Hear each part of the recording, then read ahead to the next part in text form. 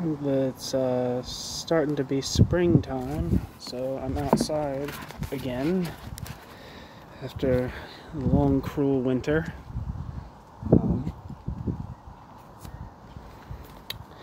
this is this is a piece titled "The Struggle Against Fascism Begins with the Struggle Against Bolshevism" by Otto Rühle.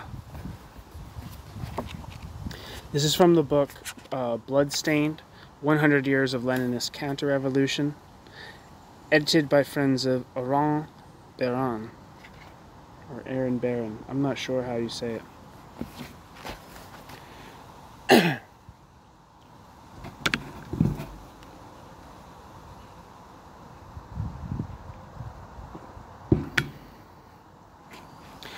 Russia must be placed, excuse me, section 1. Russia must be placed first among the new totalitarian states. It was the first to adopt the new state principle. It went furthest in its application. It was the first to establish a constitutional dictatorship, together with the political and administrative terror system which goes with it. Adopting all the features of the total state, it thus became the model for those other countries which were forced to do away with the democratic state system and to change to dictatorial rule. Russia was the example for fascism, no accident is here involved, nor a bad joke of history. The duplication of systems here is not apparent but real. Everything points to the facts that we have to deal here with expressions. Excuse me, everything points to the fact that we have to deal here with expressions and consequences of identical principles applied to different levels of historical and political development. Whether party, quote, communist, end quote, like it or not, the fact remains that the state order and rule in Russia are indistinguishable from those in Italy and Germany. Essentially, they are alike. One may speak of a red, black, or brown, quote, Soviet state, end quote, as well as of black, red, or brown fascism. Though certain ideological differences exist between these countries, ideology is never of primary importance. Ideologies, furthermore, are changeable, and such changes do not necessarily reflect the character and functions of the state apparatus. Furthermore, the fact that private property still exists in Germany and Italy is only a modification of secondary importance. The abolition of private property alone does not guarantee socialism. Private property within capitalism can be abolished what actually determines a socialist society is, besides the doing away with private property in the means of production, the control of the workers over the products of their labor, and the end of the wage system.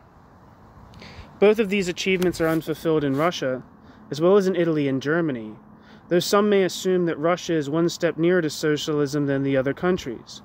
It does not follow that its, quote, Soviet state, end quote, has helped the international proletariat come in any way nearer to its class struggle goals.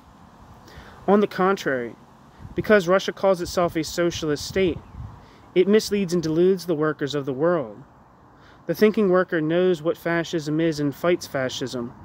But as regarding Russia, the worker is only too often inclined to accept the myth of Russia's socialistic nature. This delusion hinders a complete and determined break with fascism because this delusion hinders the principal struggle against the reasons, preconditions, and circumstances which in Russia, as in Germany and Italy, have led to an identical state and governmental system. Thus, the Russian myth turns into an ideological weapon of counter revolution.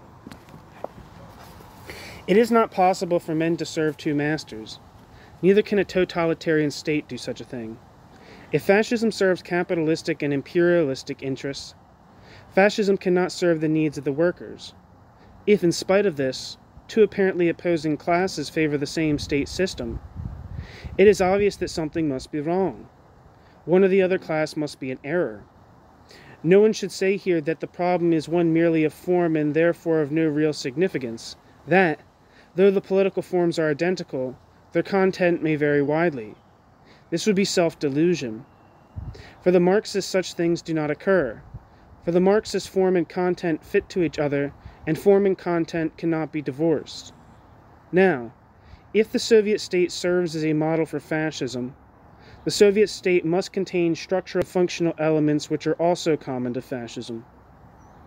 To determine that they are, excuse me, determine, to determine what they are, we must go back to the quote Soviet system end quote, as established by Leninism, which is the application of the principles of Bolshevism to the Russian conditions. And if an identity between Bolshevism and fascism can be established, then the proletariat cannot at the same time fight fascism and defend the Russian quote Soviet system end quote. Instead, the struggle against fascism must begin with the struggle against Bolshevism. Section 2. Get a drink.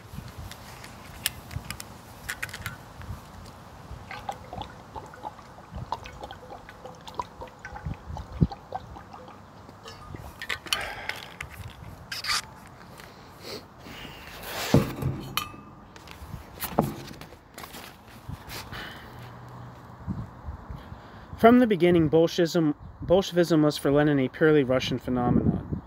During the many years of his political activity, he never attempted to elevate the Bolshevik system to forms of, of struggles in other countries. Lenin was a social democrat who saw in Bebel and Kautsky the genial leaders of the working class, and Lenin ignored the left wing of the German socialist movement, struggling against these heroes of Lenin and against all the other opportunists.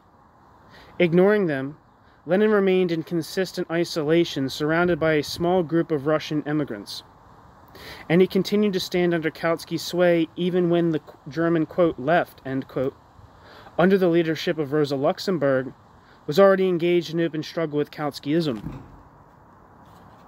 Lenin was concerned only with Russia, Lenin's goal was the end of the Tsarist feudal system and the conquest of the greatest amount of political influence for his social democratic party within the bourgeois society.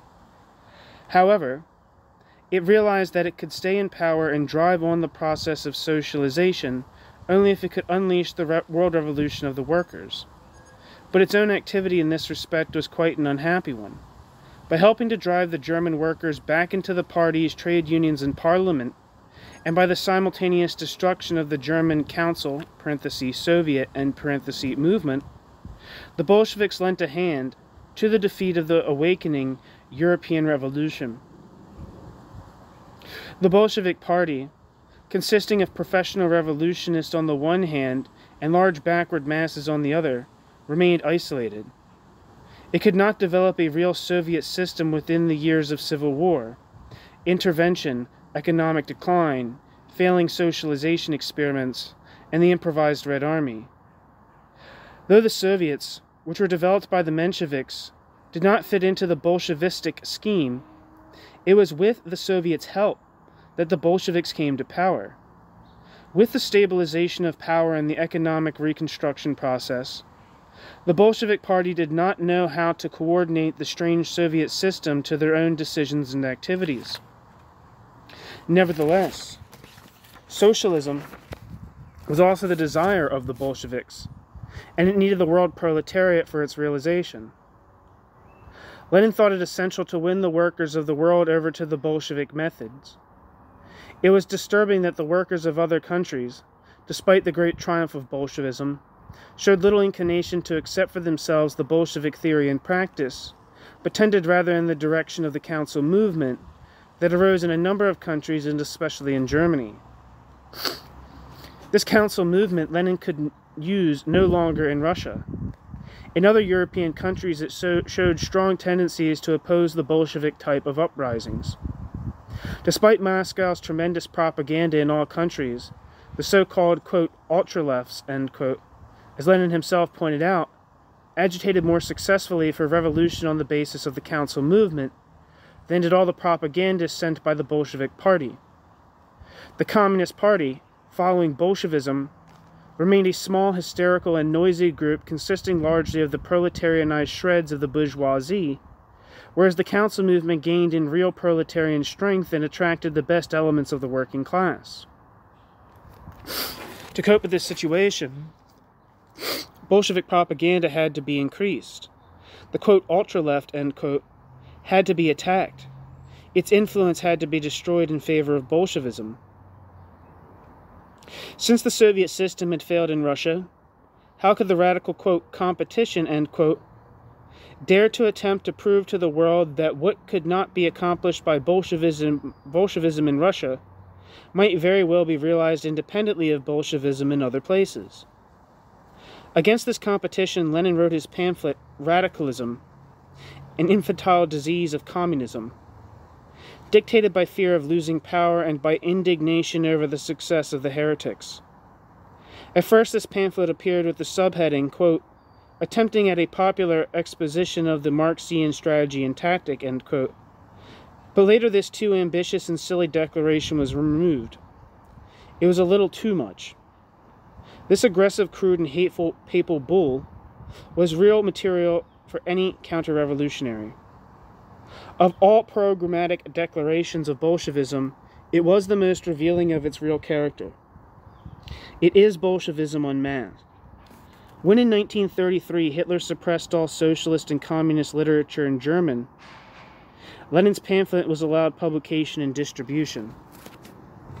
As regards the content of the pamphlet, we are not here concerned with what it says in relation to the Russian Revolution, the history of Bolshevism, the polemic between Bolshevism and other streams of the labor movement, or the circumstances allowing for the Bolshevik victory, but solely with the main points by which at the time of discussion between Lenin and quote, ultra-leftism end quote, were illustrated the decisive differences between the two opponents.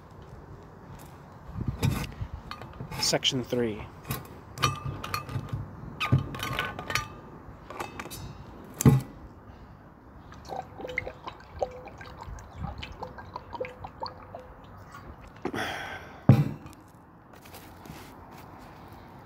The Bolshevik Party, originally the Russian Social Democratic section of the Second International, was built not in Russia but during the emigration.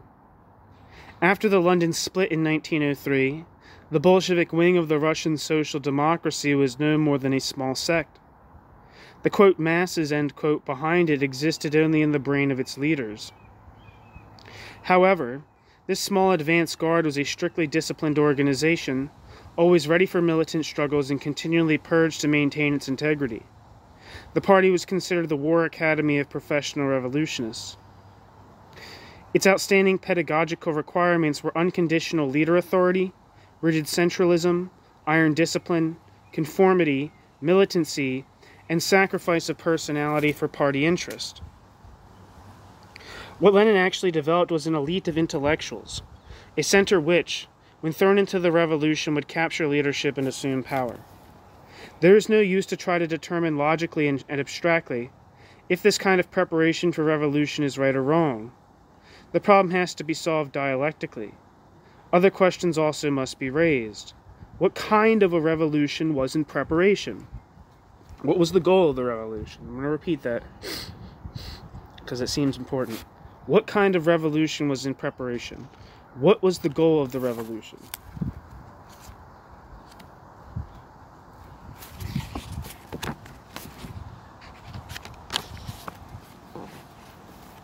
Lenin's party worked within the belated bourgeois revolution in Russia to overthrow the feudal regime of Tsarism. The more centralized the will of the leading party in such a revolution, and the more single minded, the more success would accompany the process of the formation of the bourgeois state and the more promising would be the position of the proletarian class within the framework of the new state. What, however, may be regarded as the happy solution of revolutionary problems in a bourgeois revolution cannot at the same time be pronounced as a solution for the proletarian revolution. The decisive structural differences between the bourgeois and the new socialist society exclude such an attitude. According to Lenin revolutionary method, the leaders appear as the excuse me, according to Lenin's revolutionary method, the leaders appear as the head of the masses. Possessing the proper revolutionary schooling, the leaders are able to understand situations and direct and command the fighting forces. The leaders are professional revolutionists, the generals of the great civilian army. This distinction between head and body, intellectuals and masses, officers and privates, corresponds to the duality of class society, to the bourgeois social order. One class is educated to rule, the other to be ruled. Out of this old class formula resulted Lenin's party concept. His organization is only a replica of bourgeois reality. Lenin's revolution is objectively determined by the forces that create a social order, incorporating these class, me, these class relations, regardless of the subjective goals accompanying this process. Whoever wants to have a bourgeois order will find in the divorce of leaders and masses the advance guard and working class, the right strategical preparation for revolution. The more intelligent, schooled, and superior is the leadership, and the more disciplined and obedient are the masses, the more chances such a revolution will have to succeed. I mean, will have to succeed. In aspiring to the bourgeois revolution in Russia, Lenin's party was most appropriate to his goal. When, however, the Russian Revolution changed its character, when its proletarian features came more to the fore, Lenin's tactical and strategical method, methods ceased to be of value.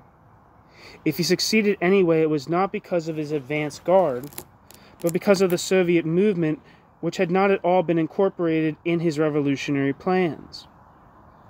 And when Lenin, after the successful revolution which was made by the Soviets, dispensed again with this movement, all that had been proletarian in the Russian Revolution was also dispensed with.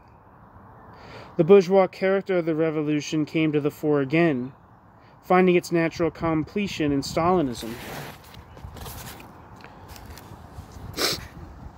Despite his great concern with Marxian dialectics, Lenin was not able to see the social historical processes in a dialectical manner. Lenin's thinking remained mechanistic, following rigid rules. For Lenin, there was only one revolutionary party, his own, only one revolution, the Russian, only one method, the Bolshevik. And what had worked in Russia would work also in Germany, France, America, China, and Australia. What was correct for the bourgeois revolution in Russia would be correct also for the proletarian world revolution. The monotonous application of a once discovered formula moved in an egocentric circle, undisturbed by time and circumstances, developmental degrees, cultural standards, ideas, and men.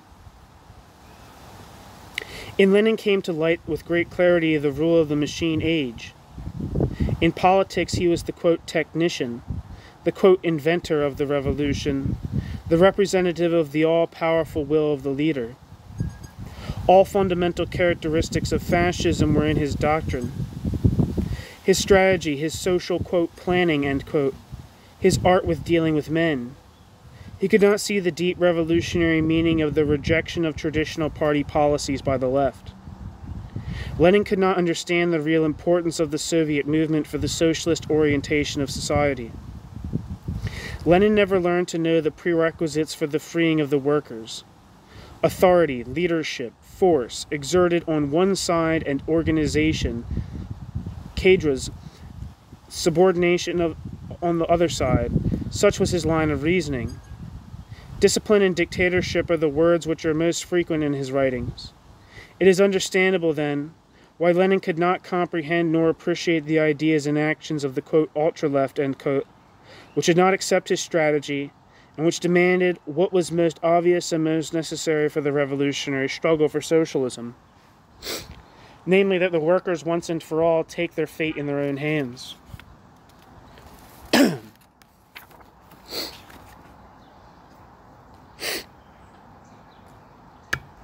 Section 4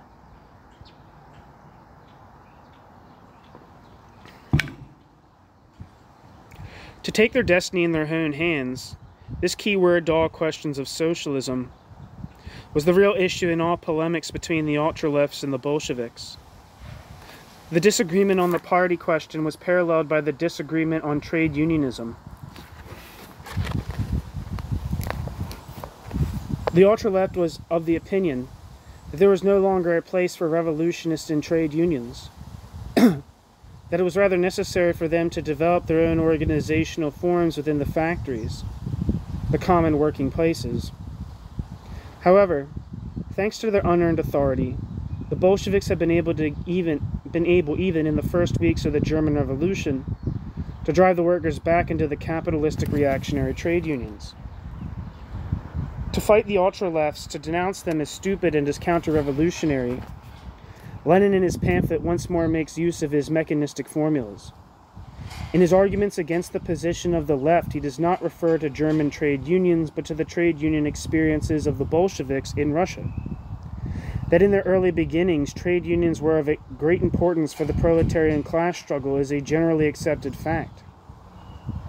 The trade unions in Russia were young and they justified Lenin's enthusiasm.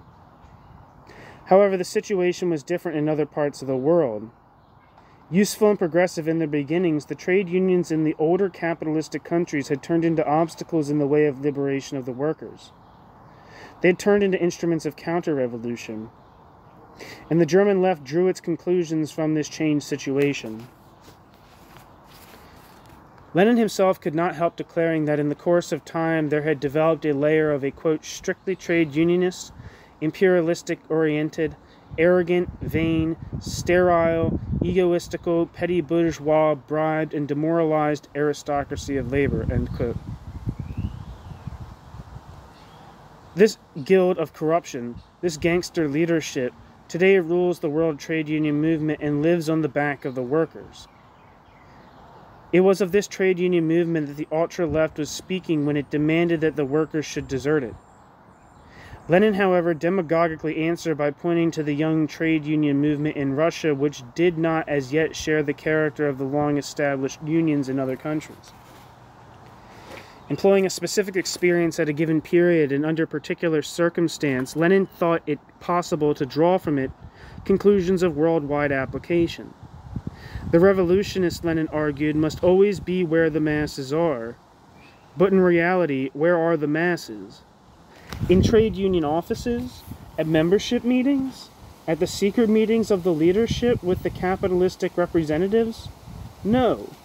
The masses are in the factories, in their working places, and there it is necessary to effect their cooperation and strengthen their solidarity.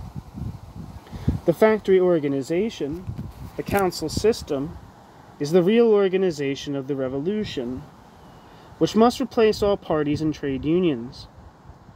In fact, excuse me, in factory organizations, there is no room for professional leadership. No divorce of leaders from followers, no caste distinction between intellectuals and the rank and file, no ground for egotism, competition, demoralization, corruption, sterility, and philistinism. Here the workers must take their lot in their own hands. But Lenin thought otherwise.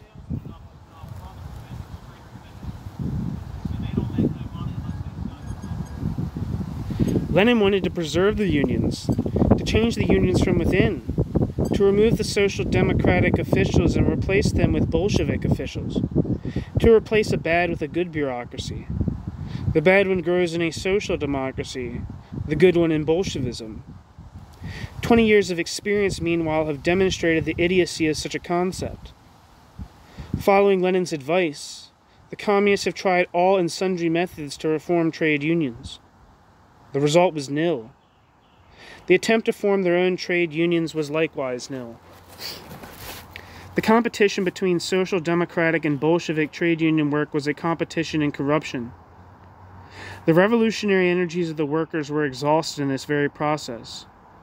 Instead of concentrating upon the struggle against fascism, the workers are engaged in a senseless and ruthless experimentation in the interest of diverse bureaucracies. The masses lost confidence in themselves and in, quote, their, end quote, organizations. They felt themselves cheated and betrayed. The methods of fascism, to dictate each step of the workers, to hinder the awakening of self initiative, to sabotage all beginnings of class consciousness, to demoralize the masses through innumerable defeats and to make them impotent. All these methods had already been developed in the 20 years of work in the trade unions in accordance with Bolshevik principles. The victory of fascism was such an easy one because the labor leaders in trade unions and parties had prepared for them the human material capable of being fitted into the fascistic scheme of things.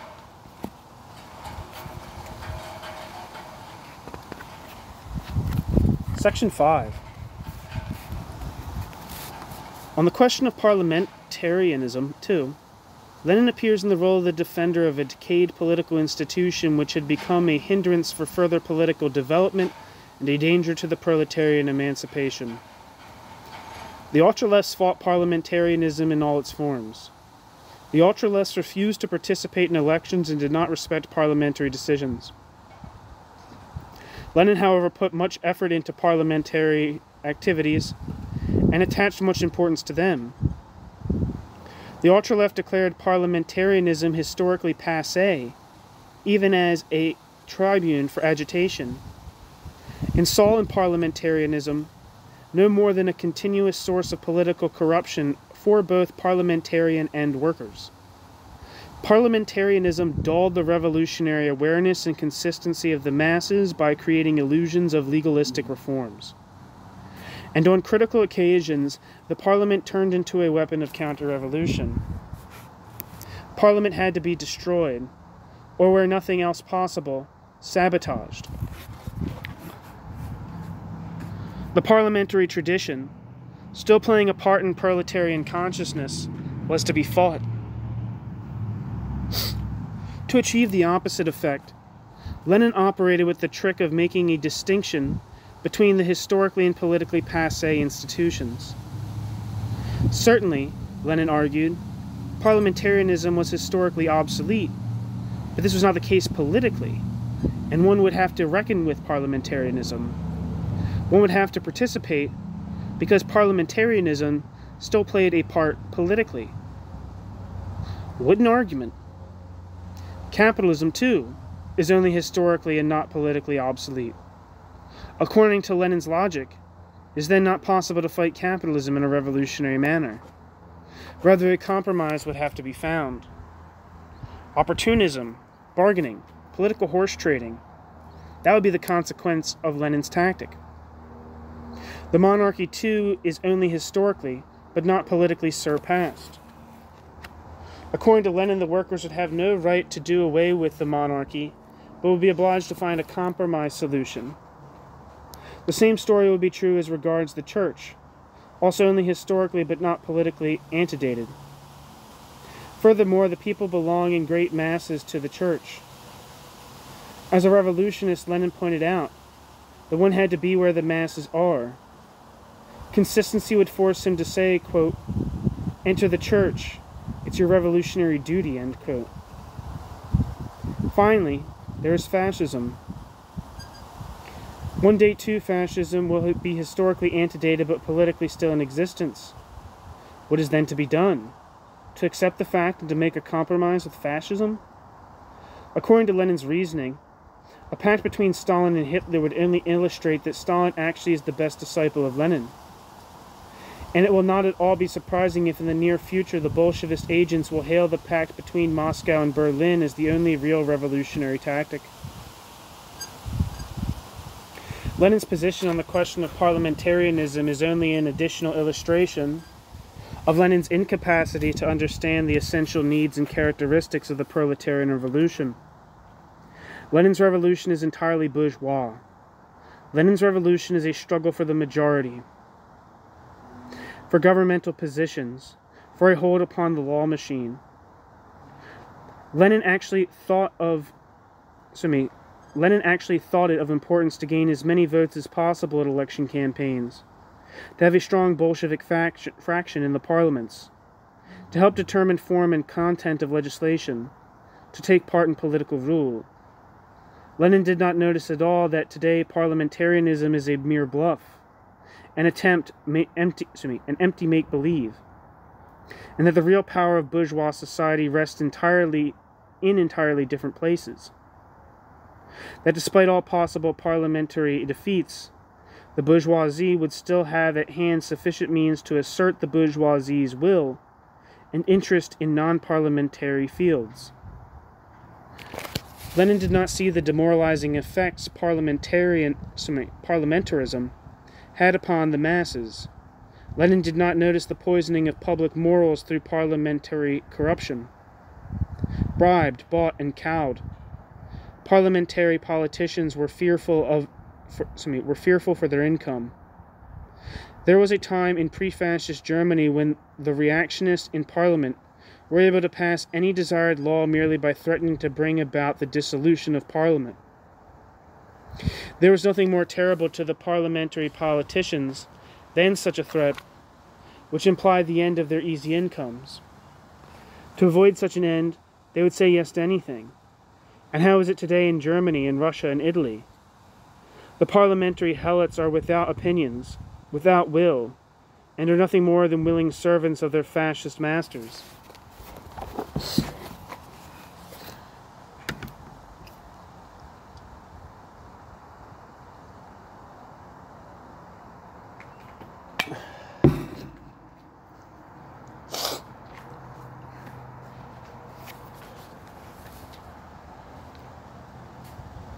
There can be no question what that parliamentarianism is entirely degenerated and corrupt. But why didn't the proletariat stop this deterioration of a political instrument which had once been used for their purposes? To end parliamentarism by one heroic revolutionary act would have been far more useful and educational for the proletarian consciousness than the miserable theater in which parliamentarism has ended in the fascistic society. But such an attitude is entirely foreign to Lenin, as it is foreign today to Stalin. Lenin was not concerned with the freedom of the workers from their mental and physical slavery. He was not bothered by the false consciousness of the masses and their human self alienation. The whole problem to Lenin was nothing more nor less than a problem of power.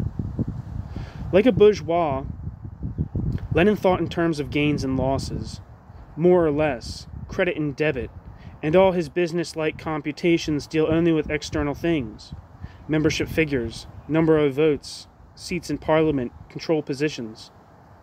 Lenin's materialism is a bourgeois materialism, dealing with mechanisms, not with human beings.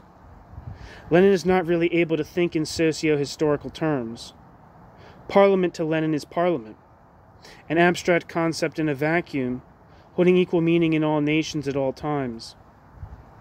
Certainly, Lenin acknowledges that Parliament passes through different stages, and he points this out in his dis- discussions. But he does not use his own knowledge in his theory and practice. In his pro parliamentarian polemics, Lenin hides behind the early capitalist parliaments in the ascending stage of capitalism in order not to run out of arguments. And if he attacks the old parliaments, is from the vantage point of the young and long outmoded. In short, Lenin decides that politics is the art of the possible. However, politics for the workers is the art of revolution.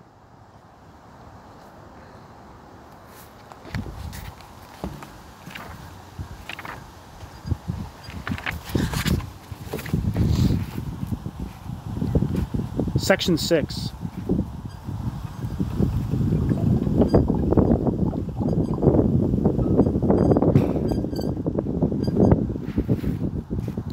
It remains to deal with Lenin's position on the question of compromises.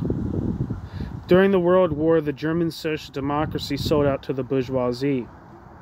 Nevertheless, much against its will, it inherited the German Revolution. This was made possible to a large extent by the help of Russia, which did its share of killing in killing off the German Council movement. The power which had fallen into the lap of social democracy was used for nothing. The social democracy simply renewed its old class collaboration policy, satisfied with sharing power over the workers with the bourgeoisie in the Reconstruction period of capitalism. The German radical workers countered this betrayal with this slogan No compromise with the counter revolution. There was a concrete case, a specific situation demanding a clear decision. Lenin, unable to recognize the real issues at stake, made from this concrete specific question a general problem. With the air of a general and infallibility, excuse me, with the air of a general and the infallibility of a cardinal, Lenin tried to persuade the ultra-lefts that compromises with political opponents under all conditions are a revolutionary duty.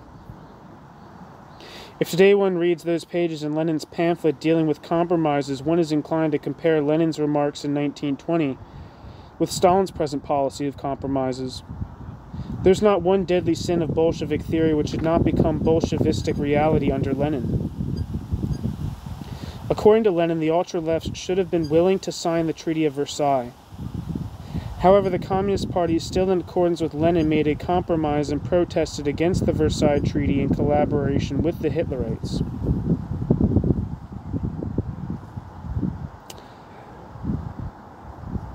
The quote, National Bolshevism, end quote, propagandized in 1919 in Germany by the left winger Laufenberg, was in Lenin's opinion, quote, an absurdity crying to heaven, end quote. But Radek and the Communist Party, again in accordance with Lenin's principle, concluded a compromise with German nationalism and protested against the occupation of the Ruhr Basin and celebrated the national hero, Schlageter. The League of Nations was, in Lenin's own words, quote, a band of capitalist robbers and bandits, end quote, whom the workers could only fight to the bitter end. However, Stalin, in accordance with Lenin's tactics, made a compromise with these very same bandits, and the USSR entered the League. The concept, quote, folk, or, quote, people, end quote, is in Lenin's opinion a criminal concession to the counter-revolutionary ideology of the petty bourgeoisie. This did not hinder the Leninists Stalin and Dimitrov from making a compromise with the petty bourgeoisie in order to launch the freakish People's Front movement. For Lenin, imperialism was the greatest enemy of the world proletariat, and against it all forces had to be mobilized. But Stalin, again in true Leninistic fashion, is quite busy with cooking up an alliance with Hitler's imperialism. Is, is it necessary to offer more examples?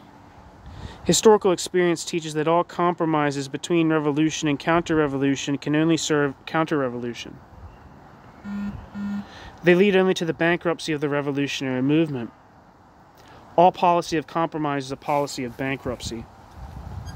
What began as a mere compromise with the German social democracy found its end in Hitler. What Lenin justified as a necessary compromise found its end in Stalin.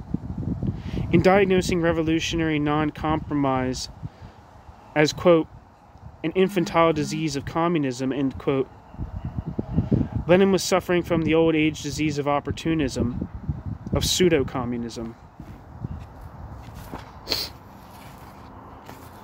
Section 7.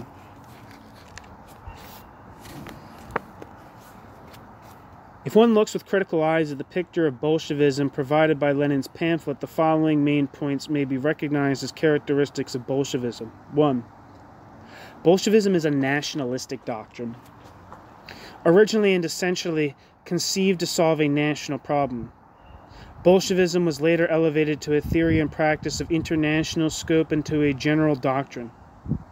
Bolshevism's nationalistic character comes to light also in its position on the struggle for national independence of suppressed nations. 2. Bolshevism is an authoritarian system. The peak of the social pyramid is the most important determining point. Authority is realized in the all powerful person. In the leader myth, the bourgeois personality ideal celebrates its highest triumph. 3. Organizationally, Bolshevism is highly centralistic. The Central Committee has responsibility for all initiative, leadership, instruction commands. As in the bourgeois state, the leading members of the organization play the role of the bourgeoisie. The sole role of the workers is to obey orders. 4. Bolshevism represents a military represents a militant power policy. Exclusively interested in political power, Bolshevism is no different from the forms of rule in the traditional bourgeois sense. Even in the organization proper, there is no self determination by the members. The army serves the party as the greatest example of organization. 5. Bolshevism is dictatorship. Working with brute force and terroristic measures, Bolshevism directs all its functions toward the suppression of all non Bolshevik institutions and opinions. Bolshevism's, quote, dictatorship of the proletariat, end quote, is the dictatorship of a bureaucracy, or a single person. 6. Bolshevism is a mechanistic method. Bolshevism aspires to the automatic coordination, the technically secured conformity, and the most efficient totalitarianism as a goal of social order. The centralistically, quote, planned, and, quote, economy consciously confuses technical organizational problems with socioeconomic questions. 7. The social structure of Bolshevism is of a bourgeois nature. It does not abolish the wage system and refuses proletarian self determination over the products of labor. Bolshevism remains therewith fundamentally within the class frame of the bourgeois social order. Capitalism is perpetuated. 8. Bolshevism is a revolutionary element only in the frame of the bourgeois revolution. Unable to realize the Soviet system, Bolshevism is thereby unable to transform essentially the structure of bourgeois society and bourgeois society's economy. Bolshevism establishes not socialism but state capitalism. 9. Bolshevism is not a bridge leading eventually into the socialist society. Without the Soviet system, without the total radical revolution of men and things, Bolshevism cannot fulfill the most essential of all socialistic demands, which is to end the capitalist self, excuse me, the capitalist human self-alienation.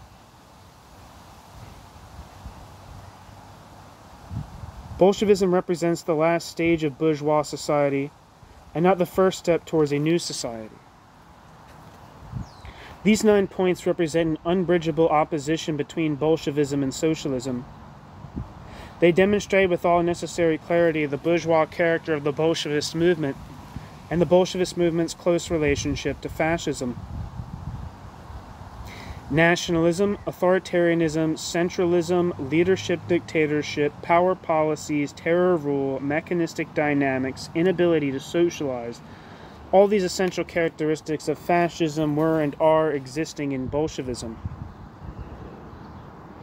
Fascism is merely a copy of Bolshevism.